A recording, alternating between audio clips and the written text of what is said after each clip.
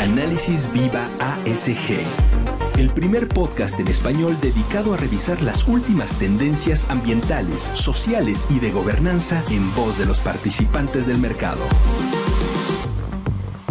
Hola a todos los que nos escuchan, yo soy Santiago Salinas, director de Relaciones Institucionales y Gobierno aquí en Viva, y bienvenidos a un nuevo capítulo de la segunda temporada de Análisis Viva ASG el primer podcast en español dedicado a revisar las últimas tendencias nacionales y globales sobre los temas ambientales, sociales y de gobernanza en voz de los participantes del sector bursátil. Antes que nada, demos la bienvenida a nuestro invitado del día de hoy, Arturo Rodríguez Trejo, líder senior de mercado para Value Reporting Foundation. Bienvenido Arturo, ¿cómo estás? Hola Santiago, muy bien. Muchas gracias por la invitación y por la plataforma. Al contrario, muchísimas gracias a ti por tenerte ahora con nosotros acompañándonos en este capítulo. Y sin duda, pues, toda tu experiencia, lo que están haciendo, pues es de muy, muy gran valor para nosotros. Pues muy bien, Arturo. Platícanos, durante la COP26 del año pasado, la Fundación IFRS anunció la creación del Consejo de Normas Internacionales sobre la Sostenibilidad. Por sus siglas en inglés son las ISSB. ¿Nos podrías hablar un poco más sobre qué son estas ISSB y cuál es su misión? Eh, sí, con muchísimo gusto, eh, Santiago. Mira, eh, durante la COP26 del año pasado que se realizó en Glasgow, ahí por noviembre, la Fundación IFRS anunció, como bien dices, la creación de este Consejo de Normas Internacionales sobre Sostenibilidad, o ISSB por sus siglas en inglés. Em, este nuevo Consejo de Normas es un consejo hermano al que hoy en día la Fundación IFRS tiene y el cual desarrolla las normas eh, NIF, las famosas normas NIF, que son las normas internacionales de información financiera. Entonces, eh, estas normas NIF las desarrolla eh, el YASBI, el Consejo de Normas para las Normas de Contabilidad, y lo que se anuncia durante la COP26 en Glasgow es la creación de un consejo hermano que va a ser el ISSB, que va a desarrollar NIF, pero sobre temas de sostenibilidad. Todo esto con el objetivo de tener eh, normas internacionales globalmente aplicables que eh, le digan a las empresas y guíen a las empresas a reportar información sobre sostenibilidad comparable eh, tanto en el ámbito financiero, que son las normas NIF, que ya viene desarrollando la Fundación IFRS a través de su YASBI por varias décadas, y también eh, ahora, a partir de noviembre del año pasado, con la creación del ISSB, estas NIF sobre sostenibilidad. Y el objetivo es, de nuevo, juntar la información financiera con la información financiera sobre sostenibilidad y tener así información completa para los mercados de capitales, en particular a los inversores que necesitan, obviamente, saber cuáles son todos los riesgos y oportunidades a los cuales eh, se enfrentan las organizaciones eh, en las cuales están eh, metiendo sus recursos.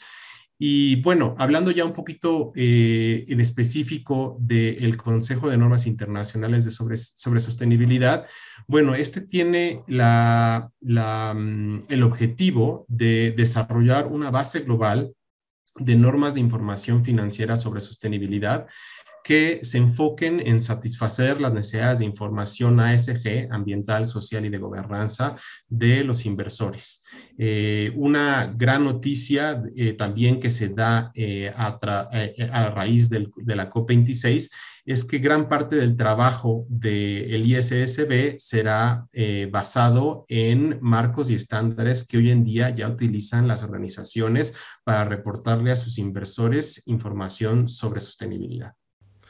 Muy importante lo que nos dice, sobre todo que esté basado ya en ciertos marcos que se utiliza hoy en día en el, en el sector. Creo que eso es muy importante. Hacia allá vamos todos, tanto empresas, eh, emisoras, inversionistas. Lo que buscamos es eso, ¿no? O sea, tener obviamente estándares, normas, en fin, que nos guíen de la manera más, más eficiente a poder generar este reporting, a generar emisiones y financiamiento eficiente, sostenible, obviamente. Ah, y platícanos un poquito, Arturo. O sea, el ISSB pues lanzó dos primeros proyectos de norma a consulta pública ahorita, en marzo del 2021, ¿no? ¿Nos podrías hablar un poco más sobre estos proyectos? ¿Cómo esto integra en los principios y conceptos de los marcos que mencionabas, los estándares existentes? ¿Cuáles ves tú que son los siguientes pasos del ISSB para transitar de estos proyectos a unas primeras normas ya oficiales? Eh, sí, con muchísimo gusto. Eh, mira, durante la COP26 se anuncia la publicación de unos prototipos de divulgación, eh, dos prototipos de divulgación, de hecho, que son hoy en día los precursores a estos proyectos de norma o borradores a los que te refieres. Entonces, voy a empezar con los prototipos porque eso ayuda a entender cuáles son las organizaciones que han participado en la creación y el impulso de este nuevo Consejo de Normas Internacionales sobre Sostenibilidad. Eh, allá en, noviembre del, año pasado, eh, estos prototipos fueron creados eh, por la Fundación IFRS, la Value Reporting Foundation, que es la organización que yo represento hoy en día, el TCFD, que es este marco y estas recomendaciones que son utilizadas hoy en día por las empresas para divulgar sus riesgos y oportunidades sobre el cambio climático, el equipo detrás de las métricas de capitalismo consciente del Foro Económico Mundial y también eh, la organización CDSB, que el Climate Disclosure Standards Board, que desde entonces también, eh, bueno, ya se fusionó con la Fundación IFRS. Y todo el año pasado, estas organizaciones que acabo de mencionar trabajaron para crear estos dos prototipos que se anunciaron, eh, se anunció su publicación más bien en noviembre del año pasado. Ahora, de noviembre a, obviamente, el día de hoy han pasado ya varios meses y estos prototipos han evolucionado a ser los primeros borradores o los primeros proyectos de norma de eh, el ISSB. Entonces, eh, sí es importante mencionar que la arquitectura que está proponiendo el ISSB en estos eh, proyectos de norma se basa en los principios y los elementos centrales del TCFD, que son estos eh, eh, ejes de hablar sobre gobernanza, divulgar información sobre la estrategia de la, de la empresa al abordar riesgos y oportunidades sobre sostenibilidad eh, cómo precisamente gestiona estos riesgos y oportunidades y también qué métricas y qué objetivos está brindando la empresa y está reportando eh, para sus inversionistas. Entonces, eh, se toman estos elementos centrales de las recomendaciones del TCFD y también se están tomando indicadores y conceptos de los otros eh, organismos que mencioné, ¿no? En particular, los estándares SASB van a alimentar los requerimientos industriales que tengan estas nuevas normas sobre sostenibilidad. Habrá requerimientos temáticos que se basen en los principios y conceptos del CDSB y el Foro Económico Mundial eh, y que aborden ciertos temas en específico, como lo puede ser el cambio climático, el agua, la biodiversidad, etcétera, etcétera. Y también eh, parte de la arquitectura de estas nuevas normas tendrá requerimientos generales que apliquen a cualquier, eh, cualquier empresa independientemente de, su rubro. Entonces, eso es un poquito para hablarles de, ahora sí que el origen de estos borradores eh, que existen hoy en día y que están en consulta pública hasta el día 29 de, julio de, 2022. Eh, he mencionado que son dos proyectos de norma, dos borradores. El primero es la NIF S1, y estos son estos requerimientos generales que, acabo de mencionar, que son eh, requerimientos de cómo abordar el tema de sostenibilidad, la divulgación y la revelación de información sobre sostenibilidad. Y básicamente son esta puerta de entrada para cualquier empresa para hablar sobre su desempeño en temas ASG. Y el otro eh, borrador es el borrador eh, NIF S2, que es específicamente un requerimiento temático porque aborda específicamente cuestiones sobre el cambio climático. En particular, eh, el S1, eh, básicamente el enfoque que tiene es requerir que las empresas y las organizaciones que estén utilizando este, esta norma proporcionen información material sobre cuáles son todos sus riesgos y oportunidades ligados a la sostenibilidad que sean significativos para entender el valor de la misma entidad. Y de nuevo, eh, se está basando en estos principios y conceptos que mencioné anteriormente, en particular y principalmente eh, las recomendaciones del TCFD, que son hablar sobre gobernanza, sobre estrategia, sobre gestión de riesgos y sobre métricas y objetivos. Entonces, eh, sobre gobernanza, lo que está pidiendo este borrador es, bueno, que la organización brinde información completa para poder comprender cuáles son todos estos procesos, eh, controles y procedimientos dentro del gobierno corporativo de la organización para eh, monitorear estos riesgos y oportunidades que están ligados a la sostenibilidad. En cuestión de estrategia, se le está pidiendo a la organización eh, brindar información que ayude, que ayude a comprender por parte de, los usuarios de la información, que son los inversores, cómo la organización está abordando estos riesgos y oportunidades ASG y qué estrategia tiene para abordar estos riesgos ASG y no solo eh, que los mencione, ¿no? Y la, estrategia en general, sino cómo está abordando estos riesgos en diferentes puntos en el tiempo, ¿no? En el corto, mediano y largo plazo.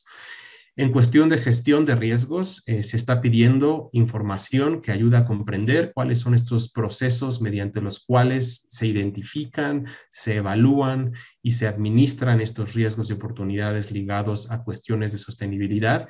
Y finalmente, el último gran elemento de estas recomendaciones del TCFD que ha tomado prestadas el Consejo de Normas Internacionales de Sostenibilidad es el de métricas de objetivos y bajo este, em, bajo este eje eh, se, se, está pidiendo que la organización dé eh, información de nuevo completa, que ayuda a comprender cómo la misma organización monitorea y gestiona estos riesgos y oportunidades ligados a la sostenibilidad, incluyendo, eh, obviamente, información de cómo está desempeñándose hacia los objetivos que la misma organización se ha eh, fijado. Entonces, ahí, eh, de nuevo, una buena noticia de que estas, este S1, NIF S1, está basándose principalmente en las recomendaciones del TCFD, que son recomendaciones que ya hoy en día muchas empresas utilizan para divulgar información sobre riesgos climáticos y lo que está haciendo el ISSB es subir esta conversación no solo a cambio climático, sino a sostenibilidad en general. Y ya por último, mencionarte eh, el, contenido ¿no? y el objetivo del, del, S2, la NIF S2, que habla específicamente sobre divulgación climática. Y aquí, de nuevo, es un requerimiento temático porque aborda específicamente el tema del de, cambio climático y el enfoque de la, del borrador S2 es requerir que las organizaciones proporcionen información sobre cuáles son los riesgos y oportunidades relacionados a temas ASG, eh, que sean también significativos y necesarios para evaluar su valor, pero enfocándose específicamente en riesgos climáticos eh, y oportunidades climáticas, incluyendo riesgos climáticos físicos, riesgos climáticos transicionales y también las oportunidades que deriven de un, eh, de un clima cambiante, ¿no? Porque habrá ciertos sectores que tengan oportunidades para brindar servicios y, productos enfocados a satisfacer eh, nuevos, nuevos mercados. Y también aquí eh, en este borrador NIF S2 eh, se toman las recomendaciones del, del TCFD que ya describí anteriormente y también se están tomando eh, los indicadores de referentes al cambio climático que están incluidos en los estándares ASBI y que hoy en día también son utilizados por muchas empresas a nivel global. Y entonces, bajo un mismo techo, se está poniendo eh, ahora sí que las recomendaciones del TCFD y los indicadores de los estándares ASBI para que así las empresas puedan reportar información eh, que les ayude a los inversionistas a entender de nuevo cuáles son todos estos riesgos y oportunidades a los que se enfrentan al poner en marcha su modelo de negocio. Ok, qué, qué, interesante. Y cada vez hemos visto más también empresas, organizaciones que, que quieren migrar hacia allá, ¿no? O sea, que ya lo ven eh, no, no, no, nada más como algo bueno que tener nada más un nice to have, sino realmente implementarlo desde adentro de la organización para mejorar eh, muchos componentes, ¿no? La resiliencia, la sostenibilidad, el reporteo a los inversionistas, como bien lo mencionabas. Pero dicho esto, eh, ¿cómo puede una empresa, cómo puede una organización eh, prepararse ante los cambios tan rápidos que están sucediendo en este ecosistema, ¿no? O sea, los cambios tan rápidos en la parte de divulgación ASG y una clara tendencia que también vemos de pasar primero en algo voluntario a quizás un futuro en, en algo regulado, ¿no? ¿Cuál, ¿Cuál consejo, opinión podrías darnos en ese sentido?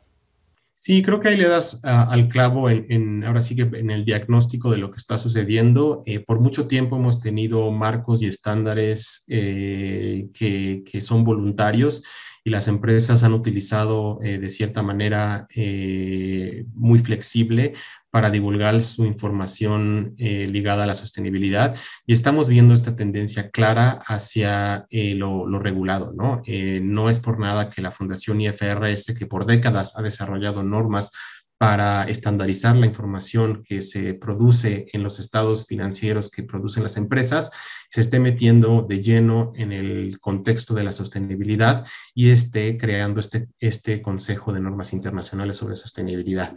Eh, a, a, tu pregunta en específico, bueno, eh, la Fundación IFRS, la Value Reporting Foundation, que es la, organización que yo eh, represento hoy en día eh, y que se fusionará en un par de semanas con la Fundación IFRS, ha sido muy clara y hemos sido muy claros en, en, qué pueden hacer las empresas para prepararse ante este cambio de lo, de lo voluntario a lo regulado. Eh, en primer lugar, eh, y de nuevo ligando a la respuesta que ya di anteriormente de que eh, la gran noticia de que el, ISSB basará su trabajo en estándares y marcos existentes, bueno, las empresas pueden prepararse utilizando precisamente esos marcos y estándares existentes sobre los cuales la Fundación IFRS y en particular su consejo ISSB van a basar su, su trabajo, ¿no? Entonces, la Fundación IFRS ha sido muy explícita eh, en su recomendación y en su llamado a la acción eh, para las empresas eh, y a los preparadores de esta información a iniciar su camino en utilizar estas herramientas, las recomendaciones del TCFD, los estándares SASB, el marco de reporte integrado, que también es otra herramienta que va a ser utilizada para, para desarrollar el trabajo del ISSB y el YASB. Este, y, y las otras organizaciones que he mencionado, eh, empezar a utilizar estas herramientas. Y si ya lo están haciendo, bueno, continuar a utilizar estas herramientas, porque básicamente cualquier esfuerzo que se realice hoy en día para utilizar estas metodologías, estos marcos, estos estándares, bueno, va a ser obviamente recompensado en un futuro cuando las normas NIF sobre sostenibilidad que desarrolle el ISSB sean oficiales en, en, diferentes jurisdicciones, eh, bueno, obviamente estas organizaciones que inicien a utilizar estos, estas herramientas, pues ya tendrán un paso adelante en, eh, en satisfacer estos, estos requerimientos. Eh, en particular, sobre sobre los estándares SASB que, que son parte de, de, la Value Reporting Foundation eh, hoy en día, bueno, nosotros tenemos una, eh, un manual de implementación de los estándares SASB que está disponible en, en nuestra página de internet, eh, sasb.org, y ahí pueden de, acceder ¿no? a, a, esta, a esta guía de implementación. Está disponible en inglés, en español, en diferentes idiomas, y lo que hace esta guía es básicamente eso, guiar a las empresas y tomarlas de la mano para eh, ahora sí que tengan un reporte alineado a los estándares SASB referentes a su industria. Ok, sin duda esto va a ser muy beneficioso para las empresas. Y como bien lo has estado mencionando, Arturo, eh, a lo largo de tus comentarios, eh, sabemos que el ISSB ha basado gran parte del trabajo en marcos y estándares ya están existentes. ¿no? Bien, mencionabas ahorita los estándares eh, SASB. Eh, dos preguntas para ir eh, cerrando este gran podcast. La primera es, ¿cuál es el nivel de adopción que hay de estos estándares a nivel global y específicamente en México? Y además, en este trabajo conjunto y alineado que ha hecho el ISSB, sabemos que acaba de firmar un memorando de entendimiento con el GRI, ¿no? Entonces, un poquito que nos platiques cómo ha sido este trabajo entre diferentes organizaciones, el ISB, el GRI y las otras, y lo que te preguntaba, ¿no? Repitiendo el cuál es el estatus de adopción eh, de los estándares a nivel global, pero específicamente aquí en México. Sí, eh, con mucho gusto, Santiago. Mira, empiezo con, esa primera parte de, de, tu pregunta de la adopción y uso de los estándares ASBI. Eh, hoy en día eh, tenemos identificadas más de 2.150 empresas a nivel global que utilizan los estándares ASBI para sus diferentes industrias, recordando a, la, audiencia ¿no? que los estándares ASBI son 77 estándares distintos para 77 industrias diferentes. Entonces, eh, tenemos de nuevo más de 2.000 empresas a nivel global que utilizan el estándar específico de su industria para divulgar información específica de su industria a sus inversores. En América Latina eh, tenemos ya cerca de las 200 empresas que utilizan esta, esta metodología para divulgar información específica de su industria y en México en particular tenemos identificadas 42 empresas que ya utilizan los estándares ASBI para divulgar información ASG, que es financieramente material y que también es específica para su industria. Aquí mencionar ¿no? que los estándares ASBI salen al mercado en su versión final a, a finales de 2018. Entonces, hemos visto una adopción bastante rápida eh, de, finales de 2018 al, día, al día presente, ¿no? Eh, eh, más de 2.000 empresas a nivel global es, es, algo bastante, bastante rápido, sobre todo considerando que obviamente fue a finales de 2018 y entonces en 2019 no esperábamos ver mucha adopción y en realidad el primer año en el que esperábamos ver un poco de adopción, porque obviamente toma tiempo preparar un reporte alineado a esta metodología, fue 2020, ¿no? Entonces, entonces, básicamente, en dos, tres años hemos visto esta adopción que te venía yo describiendo. Y también, eh, ahora sí que aludiendo a la segunda parte de, tu pregunta, eh, sí, efectivamente, eh, el, otro gran jugador en este ecosistema de la divulgación ASG es el GRI, esta metodología que por también décadas ha desarrollado estándares para, para divulgar información ASG y que se considera y, sabemos que es complementaria a los estándares ASBI. Entonces, eh, precisamente como la Fundación IFRS y el ISSB van a tomar ahora sí que los estándares ASBI bajo, bajo su, su, techo una vez que se complete esta, esta fusión entre la Value Reporting Foundation y la Fundación IFRS. Eh, eh, estos, la Fundación IFRS y el ISSB han, han firmado un eh, memorando de entendimiento con el equipo del GRI. Este memorando de entendimiento se firma en marzo de, este año y eh, básicamente lo que se propone eh, y se incluye en este, en este memorando es que obviamente, obviamente va a haber una participación y una coordinación muchísimo más estrecha entre el organismo, que va a desarrollar normas para divulgar información a los inversores, que en este caso va a ser la Fundación IFRS a través del ISSB, y eh, el otro gran eh, actor en esta, en esta plática, ¿no? que es el GRI, que tiene estos estándares diseñados a hablarle a audiencias muchísimo más diversas. Sabemos que la información ASG es muy peculiar en el sentido de que, eh, bueno, hay mucha muchas audiencias que tienen apetito por saber cuál es el desempeño de las organizaciones en cuanto a cuestiones ambientales, sociales y gobernanza. No solo son los inversores, sino que hay otros grupos de interés que tienen este apetito por saber qué está pasando con las organizaciones y precisamente los estándares GRI están diseñados para hablarle de sostenibilidad a estas otras audiencias más allá del inversor. Entonces, este memorando de entendimiento eh, es un acercamiento, es un compromiso ¿no? público para coordinar estos planes de trabajo y actividades para el desarrollo de normas y estándares que sean lo más eh, convergentes posibles. ¿no? Eh, estamos hablando de que son audiencias distintas, entonces, bueno, se necesite que se necesitará eh, utilizar eh, un enfoque distinto para hablarle a estas audiencias distintas, pero en la medida de lo posible lo que se está buscando es que estas pilares eh, sean lo más paralelos posibles. Y en particular, ya, ya bajando a, términos un poco más prácticos, te mencionaba que el MOU se, se firmó en marzo pero en mayo de, este año eh, se, tuvo la primera reunión entre la Fundación IFRS y el equipo que va a formar parte del ISSB y el equipo del GRI y se fueron eh, vislumbrando eh, ciertas aristas de colaboración. en primer lugar, un calendario de reuniones y una hoja de ruta de cómo podría funcionar esta, esta colaboración entre ambas entidades. Eh, en segundo lugar, se habló de quizá eh, poder hacer un mapa de equivalencia entre las normas NIF que vaya a desarrollar el ISSB basándose en estos estándares que ya mencioné y marcos que ya mencioné y el contenido de los estándares GRI.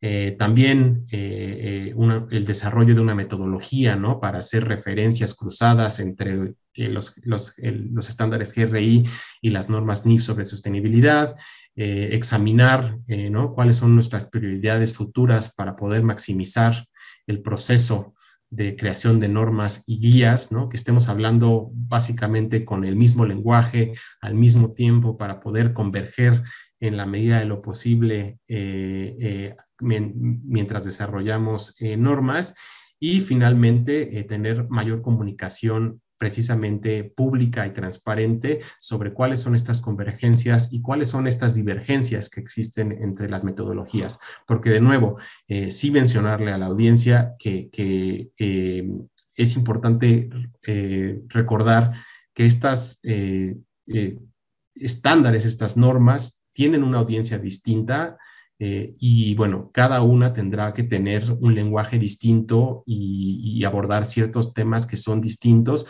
Entonces, habrá eh, divergencias y diferencias eh, orgánicas, naturales y justificadas siempre entre estas dos metodologías, precisamente porque le están hablando a audiencias distintas, pero bueno, el, objetivo de este MOU es precisamente que estas diferencias sean lo menor posible para poder hacer la vida un poco más fácil a los preparadores de la información.